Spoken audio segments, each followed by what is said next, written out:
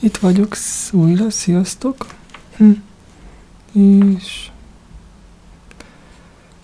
akkor nézzük meg a április 4-i igehirdetést, jó? Hú, ebben az órában mindig olyan álmos vagyok, fáradt vagyok. El voltam sétálni, meg minden. Kicsit olyan álmoska lettem, de... Hm. Na. Nézzük meg, miről szól a április 4-i igen hirdetés, jó?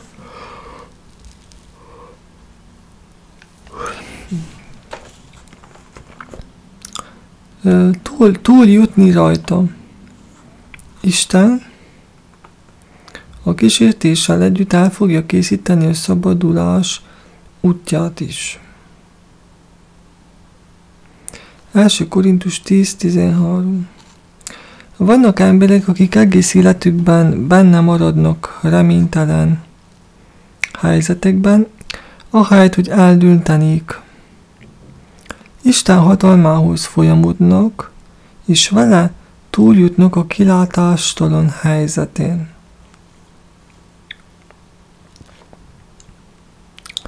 Hát igen, vannak ilyen emberek. Bizony.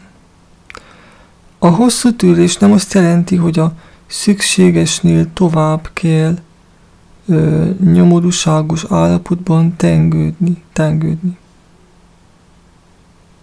Igen, a hosszú tűrés, igen. Na most szerint így van.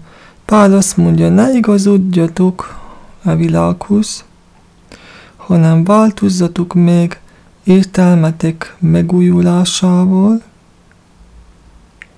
hogy megítélhessétek, mi az Isten akarata. Mi az, ami jó, ami neki tetsző és tökéletes. Roma 12.2 Ha elmédet megújítod Isten igéjével, ő megmutatja neked akaratát, és megállítsít arra, hogy túljuss azon, egyszer mindenkóra, amivel éveken át küzdködtél.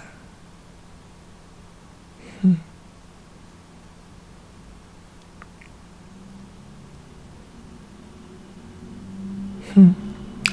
A, körül, a, a körülményeid miatti panaszkodás helyett tökéld el, hogy túljutsz rajtuk. Hm. John Messon mondta, ne törődj bele a jelenlegi átmeneti helyzetedbe úgy, mintha ez lenne a jövőben is állandó, végleges állapotod.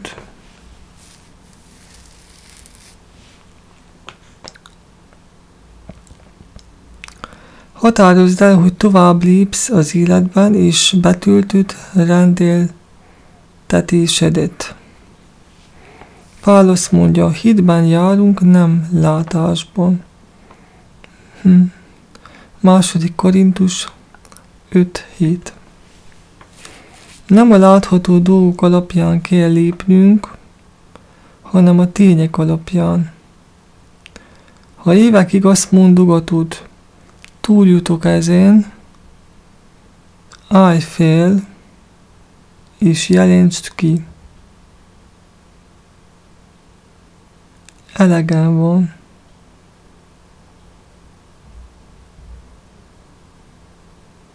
Itt az ideje túlépnem ezen a zűrön.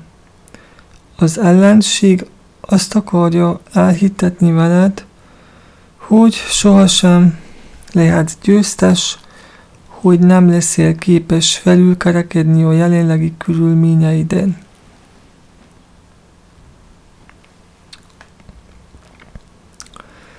De Isten igéje azt mondja, Isten pedig hűséges,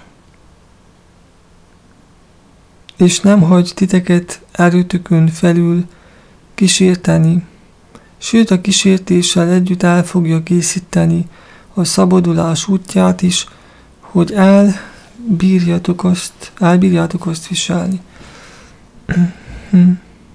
1 Korintus 10.13 Ragad meg ezt az igeverset, és rá.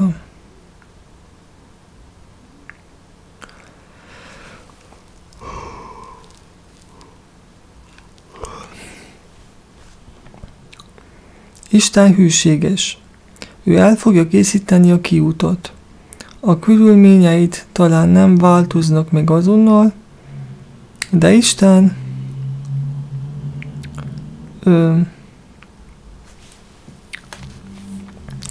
de Isten szemszögéből nézve már túl is jutottál rajtuk. Hm. Szép.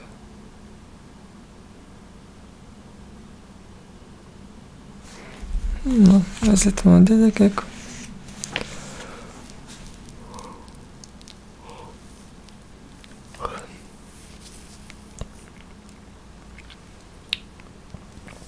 Köszönöm, meghallgattatok. Minden jót kívánok nektek, és további szép estét, minden jót, sziasztok. És akkor hónap live-ba, írőadásba találkozunk, jó? Minden jót akkor nektek, és jövök majd hónapa a az ötödik a hirdetéssel. Kíváncsian várjuk, hogy mi lesz az, jó?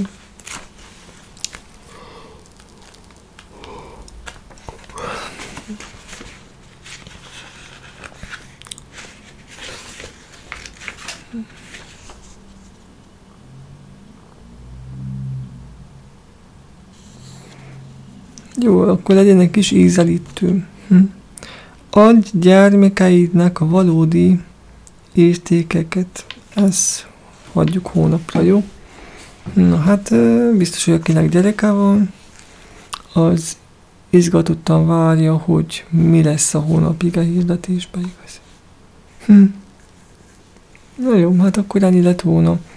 Ö, tényleg, ahogy a harmadik, a ige hirdetés mi is volt az, hogy az evangélium ö, igen, izgalmas. Mert nem szégyelem az evangéliumot, hiszen Isten hatalma az minden hívőnek üdvösségére. Igen. Szóval nem valami homályos val, vallásos elgondolás az evangélium, ez a mindennapi életben működő izgalmas kapcsolat Istennel, tehát az evangélium. Nem homályos vallásos elgondolás, nem. Mindennapi életben működő, hm, izgalmas kapcsolat Istennel, így van. Tehát ez, ez hirdetjük az evangéliumot, gyerekek itt. Igen, ebben a folyamatban is. Hónap jövök majd ö, egy újabb igehizdetéssel, jó? Akkor a legjobbakat. Sziasztok, Sanyika voltam, Isten áldjon, sziasztok.